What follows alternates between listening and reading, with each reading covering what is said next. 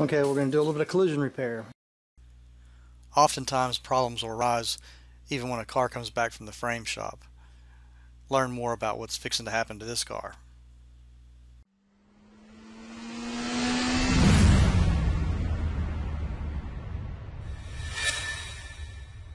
A 2001 Nissan Sentra. The owner, he actually owns a, a automotive mechanic shop. Him and his uh, boys went and found a hood and uh, two front fenders and bought a radiator support and took it to the frame machine because it was this frame rail was bent. So the uh, uh, frame shop actually welded the uh, radiator support in, saving me the trouble. They said they tacked it in, but when I went and looked, every place it's supposed to be welded is welded, so saved me the time they had the uh, they had everything together. They had that bumper on and everything, but this uh, bumper support was actually pulled and ripped right here. Matter of fact, the upper stud that goes into this half is broken, and I could just go buy one. There's gonna no one has one, so it's gonna take a few days. So what I'm gonna do is just tack weld it. But uh, the problem we have here is this frame rail is just ever slightly. This part's correct on this end but it kind of goes back at an angle that way making the uh, holes right here a little bit off they're too far back. So what I'm going to do is I'm going to slot them cut this out. And then what I'm going to do is I'm going to take a washer uh, once everything's bolted in place take a washer and then just uh, tack it onto the frame. That way it still adds strength and everything's bolted back the way it should be. Just kind of relocating a few things.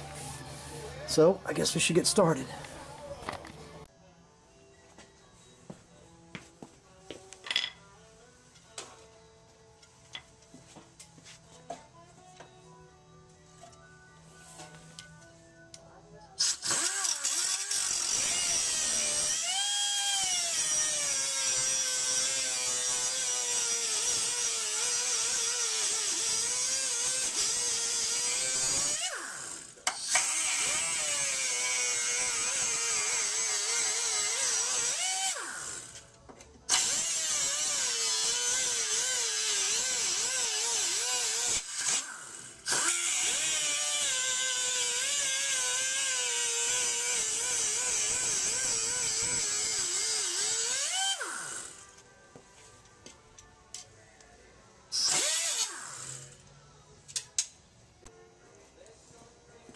metal's got to be dressed up with a wire brush before any kind of welding can be done. I mean, you could, you can get it to weld a little bit without it, but uh, you want a good, good weld, strong hole.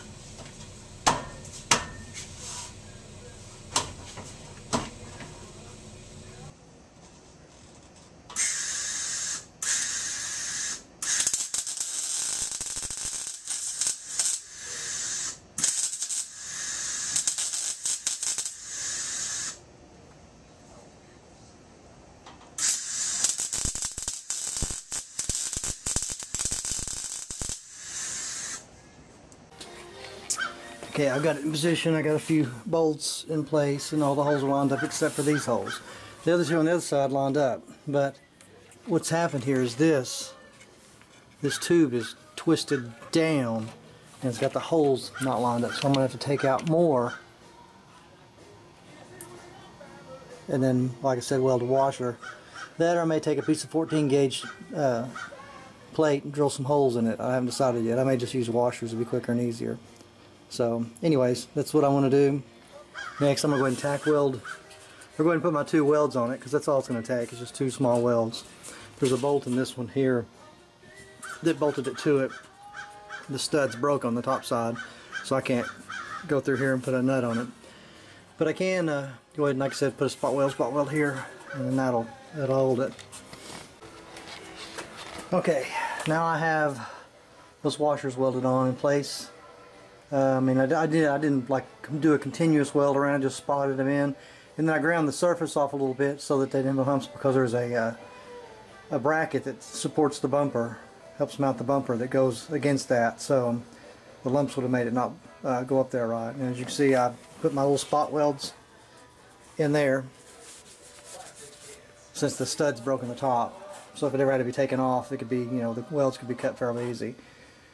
Uh, it's pretty much straight out now. We need to just uh, shoot some little paint on those railings for the rust. Now, the fender is hitting wrong right here. It's it's too far over the gap. Of course, I've got to fix this rust. As you can see, it needs to to come back. Gap's too close, and the reason why that is is because up here the radiator support is too low. If you look over here at this side, where the bumper, where the hood bumper is, it's it's level. I mean, it all comes down with swoop. If you look at this one, it's like this metal here has been twisted and rolled over, and I've actually seen this on aftermarket uh, uh, radiator support. So what I'm going to have to do is drill these spot welds out and lift this up until the fender matches right, because I noticed when the hood was shut, it was way down below this because of this being too low. So that'll be the next steps. Drill the welds out, raise that uh, upper part of the radiator support up until the fender lines up. Okay, now I've drilled out those two welds and as you can see it uh, see it's flexible now. So now I just got to bend this up. I got to take that bolt loose. Probably the other fender bolt loose. Take these, that one and the middle one loose. Then bring this up and get it adjusted and when I clamp it when the fender fits right. And then uh, when that gap's right over there. Then I'll spot weld it back in or weld it back in. So okay, I've spot welded this thing up, pushed it up. You can see where the original wheel was, how far I had to raise it to uh, get the fender straightened up. And it's common. Uh, aftermarket radiator supports are pretty good, but every once in a while you run, it, especially if you've had frame damage. So it's probably a combination between aftermarket not being exactly on the money and obviously this all right here is bent crap. So, but it looks pretty good now. So, on with the show. Now after raising the uh, radiator support like I showed you and brought it up, now you can see that it's got the fender correctly aligned. The gap's right all the way down and the uh, fender meets the rocker panel just correctly and the gap's right there. Uh, like I said, it's probably a combination they didn't get the frame exactly fully up. They seem to always miss that a little bit and the radiator support being aftermarket was a little off and that's normal. And these are just little tweaks and things you can do to uh, line things up and line body parts up. Just because it comes back from a frame shop doesn't mean it's going to be exactly spot on the money. Uh, there's some frame shops that are great. I've used some and I have some that's just mezzo mezzo. But that's how you line body parts up after a, a collision damage.